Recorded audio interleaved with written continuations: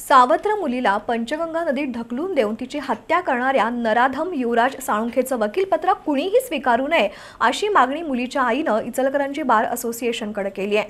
युवराज साळुंखेला फाशीची शिक्षा होईपर्यंत आपल्या मुलीचं रक्षाविसर्जन करणार नाही असा पवित्राही आईनं घेतलाय. येळगुडीतल्या नऊ वर्षीय प्रणाली साळुंखेला तिच्या सावत्र बापानंच पंचगंगा नदीत ढकलून देऊन तिची हत्या केल्याचं उघड झालंय.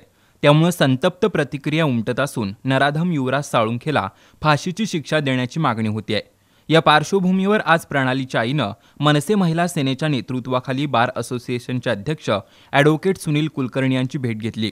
कोणत्याही वकिलाने युवराजचं वकीलपत्र स्वीकारू नये अशी मागणी प्रणालीच्या आईनं केली.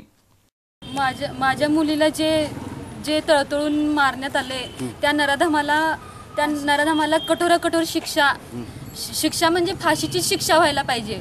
तिला जसं तळमळून तळमळून मारले तसं त्याला बी तळमळून तळमळून मारायलाच पाहिजे.